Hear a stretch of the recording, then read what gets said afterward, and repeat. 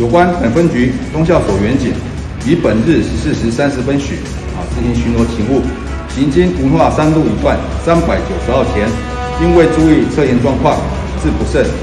擦撞路边停车格致小客，于翻覆后再波及两部致小客，所幸三部致小客均无民众，无人受伤。另外两位员警头部、手部擦伤，将人员现场包扎后送往长庚医院治疗，目前意识清楚，无大碍。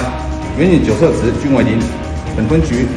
将于肇事原因厘清后，再针对被波及的车辆予以赔偿。